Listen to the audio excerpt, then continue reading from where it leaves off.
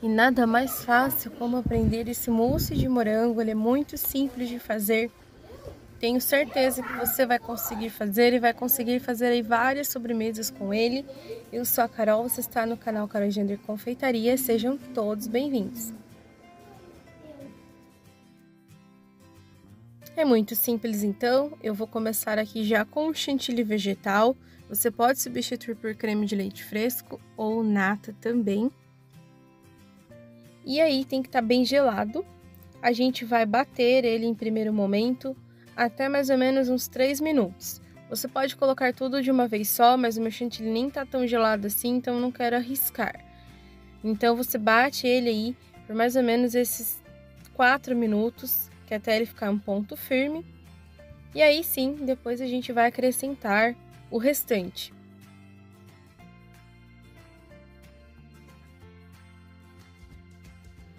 E lembrando que você pode fazer ele de vários sabores diferentes. E quando ele ficar assim, você já pode desligar a sua batedeira.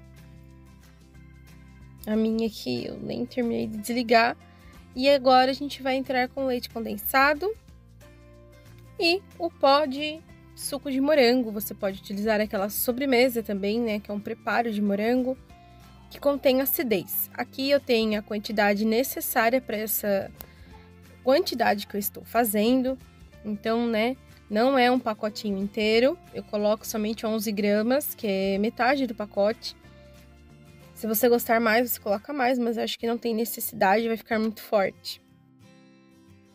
E aí você bate é só até homogeneizar muito bem. Então, separa a batedeira, limpa as laterais aí, que fica resquícios, né?